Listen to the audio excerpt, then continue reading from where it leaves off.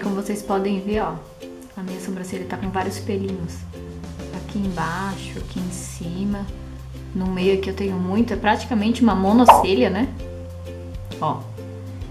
E agora eu vou mostrar pra vocês primeiramente como que eu meço ela pra eu poder tirar. Então eu vou usar esse palitinho de unha aqui pra medir, mas vocês podem usar o cabo de um pincel, qualquer coisa assim que seja fininho. E eu vou colocar aqui, ó, no, no cantinho do meu nariz, bem aqui, ó. Não é aqui, é aqui, ó, na pontinha. Aí eu coloco aqui e fico e deixo reto assim, ó. Aí eu vou vir aqui com uma caneta em gel branca e vou fazer um risco. Aí, ó. E vou fazer a mesma coisa do outro lado. Então, o começo da minha sobrancelha, ele já tá medido. Agora, pra gente encontrar o final, a gente vai usar agora o cantinho do nariz com o cantinho do olho. Colocar mais pra cima, porque essa pontinha aqui, ela é mais fininha. Então, vamos usar aqui a parte que ele é inteiro de uma espessura só. Então, cantinho do nariz com cantinho do olho. Aí a gente vai chegar aqui ao final. Achando aqui os o começo e o fim, a gente vai achar o meio. Para achar o meio, vocês vão olhar pra frente e vocês vão colocar aqui, ó, no cantinho do, do nariz de novo, olhar pra frente e daí bem no meio, aqui da bolinha preta do olho, aí vocês vão colocar o palito, ó, cantinho do olho, cantinho do olho não, cantinho do nariz e lá no meio, olha pra frente. Aí a gente vai achar aqui, ó, Aí aqui vai ser onde a gente vai levantar a sobrancelha, vai ser o arqueado dela. Agora a gente vai fazer a mesma coisa do outro lado.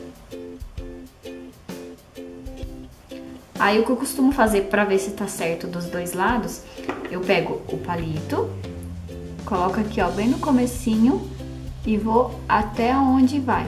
Aí eu ponho a minha unha aqui ó, tá vendo? Pus lá no comecinho, ponho a unha aqui isso aqui é a medida. E daí eu meço pra ver se tá certinho aqui, ó.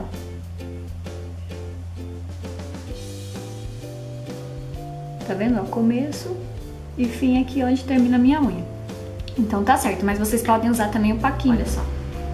Esse aqui é o meu. Aqui tem todas as medidas dele. A forma que eu tô ensinando pra vocês é bem simples. Se vocês quiserem, assim, que eu ensine usando isso aqui, vocês pedem eu faço um outro vídeo. Mas a forma que eu tô ensinando aqui é o mais simples possível. Mas, e se você tiver o paquímetro, é só medir, ó. Coloca aqui e aqui. Aí põe aqui e aqui, ó. Tá certinho, tá vendo? Aí depois de ter feito todas as marcações, a gente só vai ligar o, os pontos. Tipo, da, por exemplo, daqui até aqui, aí desce, daqui até aqui, aí desce, então vamos lá. Primeiro, vocês vão pegar o palito novamente e vai pôr aqui, ó. Para que os dois lados comecem do, no, no mesmo lugar. Essa minha caneta tá horrível. Ela caiu de ponta. Então aí, ó, a sobrancelha vai começar aí. E depois a gente vai pôr aqui em cima, ó, põe retinho e vai rolando em cima até onde acabar a sobrancelha. Daí vocês marcam novamente. E daí é só pegar essa pontinha e ligar aqui, ó, bem retinho. Se vocês tiverem dificuldade, pode até pôr o palitinho, ó.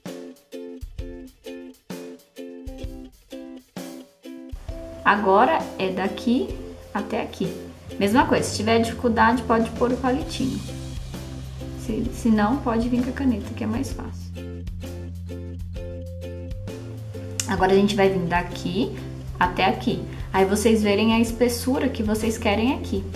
Normalmente, a espessura daqui é um meio centímetro, 6 milímetros, alguma coisa assim.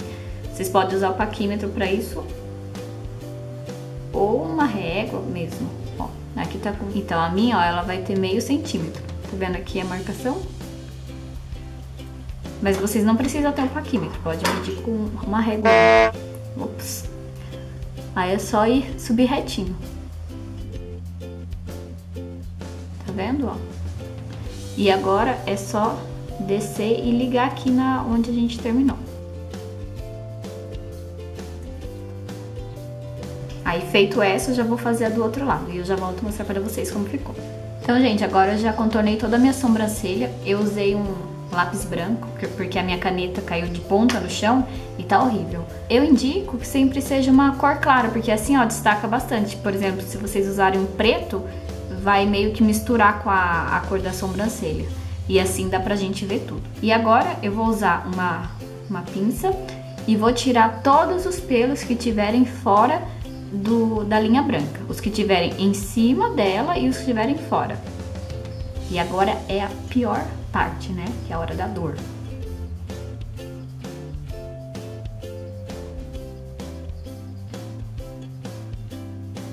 Bom, gente, agora eu já fiz toda a limpeza em volta da sobrancelha. Vocês podem ver que aqui ainda tem os pelinhos e aqui também eu não tirei, porque eu vou usar a cera para tirar essa, tá vendo aqui, ó, a pelugem? Eu gosto de tirar com cera isso aqui. Eu tiro bem aqui embaixo, porque aqui eu nunca uso cera, porque essa pele é muito sensível pra gente usar a cera e puxar forte assim. Aí, essa parte aqui pode cair mais rápido, né? Então eu só uso cera aqui na parte de cima e aqui no meio.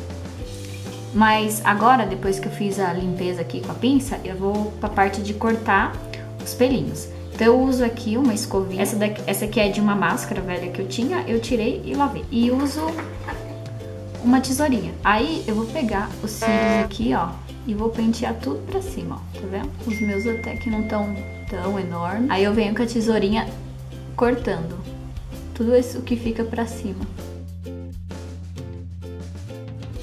E eu corto só dessa marcação pra frente. Aqui atrás eu não corto. Porque se a gente pentear pra cima e cortar, a hora que vocês voltam com o pelinho aqui, vai ficar é, alguns lugares com um corte assim, sabe? tipo caminho de rato. E daí fica feio. Então eu só corto daquela marcação aqui pra lá. Depois de cortada, a sobrancelha senta muito melhor, olha só. Ela já fica mais bonita. E agora vamos para a parte do sofrimento, que é a cera. E a cera que eu uso é aquela que vocês colocam na panelinha e ela derrete. E vocês pegam no palito e vai passar onde vocês querem tirar. Mas vocês podem usar cera fria, cera que, a cera que vocês quiserem, ou até mesmo tem umas navalhas que é própria para sobrancelha. Então eu venho aqui com muito cuidado para ela não descer e pegar na sobrancelha, né? Se vocês não tiverem prática, pede para alguém ou usa a navalha Então, mesmo. ó, agora eu passei, eu espero ela esfriar, ela vai ficar durinha. Aí eu venho aqui no cantinho, dou uma puxadinha assim, ó. E daí os pelinhos saem. Dá pra ver, ó, como fica limpinho. Olha aqui, ó, aqui tem um monte. Vou passar pra vocês verem.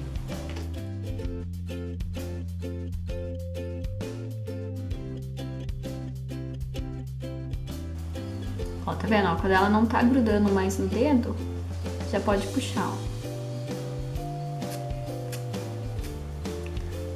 Sei se dá pra ver, mas os pelinhos estão todos... Ah, assim, ó. Ó os pelinhos. Eu adoro, fica super macio. Eu tiro o bolso também com ela. Vou terminar aqui de tirar e já venho pra mostrar pra vocês como que ficou. Então, gente, olha só o resultado, como que ficou. Ficou bem limpinha. A minha sobrancelha falta um pedacinho aqui, daí a hora que eu preencho ela, eu faço um pouquinho maior. Essa aqui vocês podem ver que ela é um pouquinho maior, ela vai até o final. Mas não tem o que fazer, né, gente? A sobrancelha ela nunca fica igual as duas. Mas a gente tenta fazer elas ficarem o mais parecidas possíveis. E na hora do preenchimento, daí vocês é, deixam elas mais perfeitas. Se vocês quiserem, posso mostrar pra vocês como que eu faço o preenchimento das minhas. Mas essa forma é uma forma muito simples de fazer, para vocês conseguirem fazer em casa mesmo. Se vocês quiserem, Aí eu faço o preenchimento com rena e o preenchimento com sombra. Então por hoje é isso, gente. Eu tô aqui toda vermelha porque eu tirei aqui com a cera, tirei bolso. Tô, tô linda, né? Tô linda. Linda, linda. Mas eu espero muito que vocês tenham gostado. Se vocês gostaram, clique em gostei pra mim, se inscrevam no canal e até o próximo vídeo. Beijo. Tchau.